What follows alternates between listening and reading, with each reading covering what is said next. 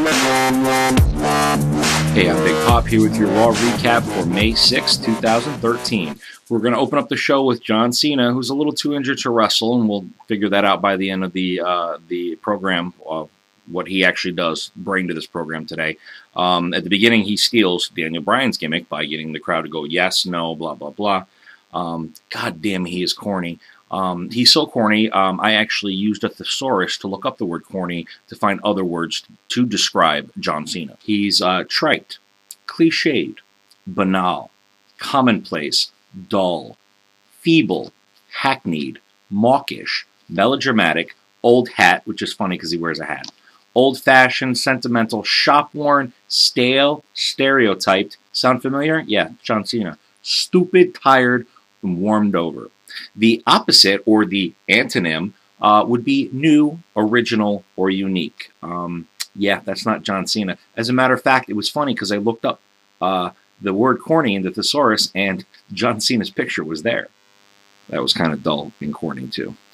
Vicky comes out to interrupt, and it was just Vicky, not Bricky, so uh, without the BR, it's just Icky. Sorry, Brad Maddox. Ryback, you suck too. They did make the stipulation for Extreme Rules as a last man standing match. The audience is funny because there's a guy behind Jerry Lawler while he's doing his little uh, spiel that just kept yelling, Jerry! Jerry Lawler! Jerry the King Lawler! to try to get them to turn around, but they did that with a lot of the people on the sidelines tonight. The first match, RKO versus Damien Sandow. This is a rematch from SmackDown, and I actually did like the match on SmackDown. Um, Sandow seemed a little bit off. Um, yes, he was more aggressive, but he just wasn't as sharp tonight. I don't know why. St. Louis is Extreme Rules. He's going to be wrestling the big show, clearly, so maybe Orton will come out of his shell and stop being as corny, dull, trite, and commonplace as he has been. Who knows? This show is scraping along slowly, like an old man's balls at the beach. The RKO moveset, two and a half stars, guys. That's the match. It wasn't a great match to start off, but you know it was already 8:30 before we saw the first wrestling match on Raw tonight. The second match, Fandango versus R-Truth. R-Truth wins with a countout. Jericho came back. He decides to do sort of a Dancing with the Stars judges table and brings out guys that know how to kick people's butts and guys that know how to dance as well. So clearly, tons of funk come out. God Almighty, the references are getting so old. They, they keep bringing up Chuck Barris, who hosted the Gong Show in the '70s, and Dolly Parton, who was big in the '70s. Well, Dolly Parton's always big, but no, but the same point, dude. I mean, you know, I'm kind of thinking maybe Josh Matthews is the way to go because they need more current references. If you're selling your product to kids, have kids know who the hell you're talking about. The Fandango R-Truth match, uh, Fandango leaves, R-Truth wins because of count out, one star. It was a waste, all the extra stuff. There's no wrestling on the show. They keep promoting Brock, but they're not showing him wrestling. They're showing him enter the WWE building in Stamford, Connecticut over and over and over again, leading up to, I guess he's going to trash Triple H's office. Ryback rules. Ryback rules. Okay, fine. You wanted to start the Fandango craze. Now you want to try to start the Ryback rules craze. I got a couple other hashtags for you. How about this? How about Ryback drools? Ryback pools? Ryback stools. Feed him less. Match number three, ADR versus Ziggler. Actually, this ended up turning out probably my favorite match of the night. Um, it was old hat to see the two guys go back and forth. We've seen ADR and Ziggler a ton of times. Um, it was competent. There were looked like a couple botches, but they played it off well.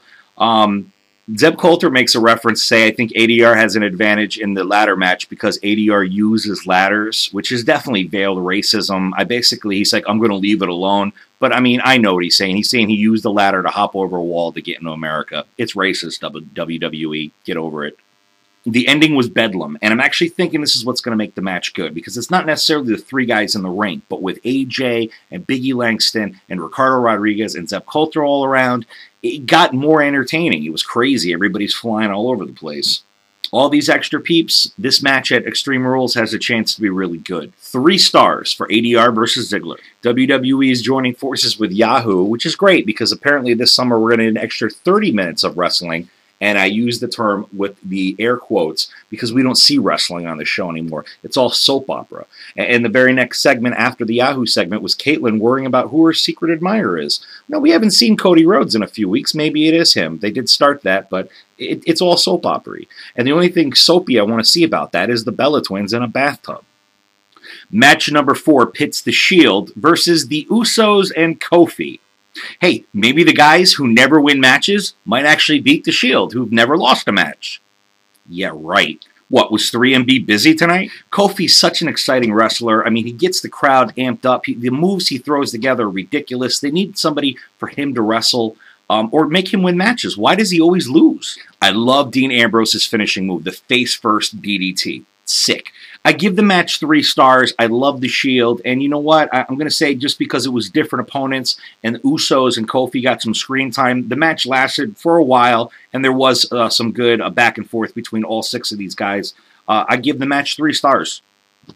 Uh, and I'm probably only giving it three because the other matches suck so bad that this one looked great in comparison there's an, a mention to the comparison of the Shield being a powerful stable and mentioning like uh, the Freebirds and the Four Horsemen and their legacy of being dominant stable. Um, they must be watching our Out show because that's all we've been talking about for the last two weeks. If you haven't seen it yet, check out the links over here somewhere uh, on this screen and click over to see our uh, two episodes, one about DX and one about Heart Foundation. And stay tuned uh, for this week. We're going to do one about the NWO and the Four Horsemen. Match number five Antonio Cesaro versus Zack Ryder. Wow, what an exciting show! I give the match two stars. Um, uh, Ryder jobbing as usual. Uh, it was too short. Uh, they showed uh, a highlight from main event where Cesaro from the second rope suplexes Kofi into the ring. Again, another reason why Kofi's ridiculous and Cesaro's ridiculous. They're great wrestlers, and yet they're getting uh, jammed down in the mid card with no time whatsoever to show off. They're great. Put these guys up. You know, at the end, uh, Cesaro ripped off one of Kofi's dreadlocks or extensions. Um, it's ridiculous. What's Kofi going to do to get back at Cesaro? Rip off his treasure trail? oh, he talked about his treasure trail. Ugh. The Heyman footage was sloppy and stupid. This is what we've been waiting for the entire show, just to see some shaky cell phone footage of him walking through WWE headquarters and ragging on Andre the Giant and uh, smashing uh, Triple H's office with a sledgehammer. It was it was doofy. It's funny because he's walking through the hallway and Brock and looks at the uh, um, Royal Rumble poster with the Rock on it. So sorry, Brock stopped and looked at the poster. So we could be seeing a Rock Brock preview if Rock ever heals from his injuries from wrestling. Triple H was really good. Um, he got in the ring and he really got the crowd. The crowd loved seeing him, so that helped him out. But, uh, you know, he's good at what he does on the mic. I still have my doubts about this match coming up at Extreme Rules. Match number six AJ and the Bellas versus Kaitlyn and the Funkadactyls. Half a star. Never given a match a half a star. Half a star. I love the Bellas. They didn't even get involved. The whole match was basically the weakest of the all the wrestlers. AJ versus Cameron, and Kaitlyn came in and pinned AJ after the Bellas bailed. Mark Henry, good for you, calling out the audience, going off script, and he got them repeating the what, what, what, and then he called them puppets. I'm actually starting to like Mark Henry finally after 15 years. Sheamus and Barrett have a match. Um, this uh, match, you know, it could be better. Uh, but both these guys are going through their move sets. Um, it, it, there wasn't a lot of continuity. Uh, Barrett going into the Bull Hammer into white noise looks so sloppy and so stunted. Barrett should have won this match. I give it two and a half stars. Could have been better. Um, you know, I, I, I just hate the Sheamus. And it was good afterwards, and that's the extra half a star. When Mark Henry uh, got psyched out by Sheamus pretending to throw a Barrett, he gets uh, uh, uh, brogue kicked in the face, and then Mark Henry takes the trainer's belt and he whips him with it. So it's going to be extreme. This also has quite good potential to be one of those matches uh, that's quite memorable for the upcoming Extreme Rules pay per view. Finally, match number eight pits uh, Ryback versus Kane. Um, it was predictable. I'd hate to give it a half a star as, as much as the AJs and Bellas, so I'll give it one star. Ryback could not pick up Kane for the shell shock. Kane was already sitting on the top rope, and he put him up in that and got him. After the match, the Shield comes down. Daniel Bryan comes down. There's a little scuffle, and Ryback comes over the chair and rails out Cena. He doesn't pick him up. He doesn't get the shell shock. He hits him one time with a chair, and that's how we end Raw. Um, again, less than stellar. Not one of my favorite episodes of Raw. They've got to pick it up uh, by next week to get me ready to go throw down 60 bucks to rent Extreme Rules. For the Raw recap, I'm Big Pop. We'll see you next time.